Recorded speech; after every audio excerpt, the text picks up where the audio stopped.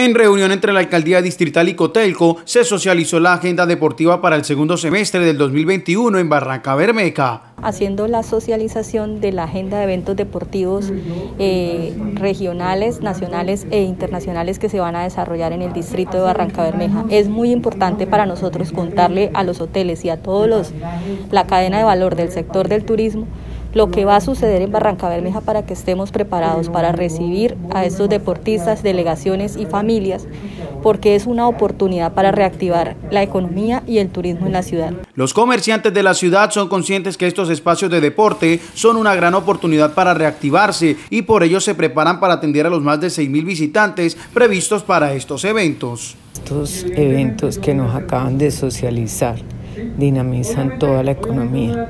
Aquí, además de los hoteles, vamos a participar y ver, eh, eh, ver resultados eh, en el sector restaurantero, en el sector transporte, en el sector artesanía, o sea, a través del turismo se mueve y se dinamiza la economía de una zona. La administración distrital ha posicionado a la ciudad y producto de ello serán 14 eventos deportivos los que se realicen en el puerto petrolero, 8 de carácter nacional, 4 de ámbito internacional y 2 regionales.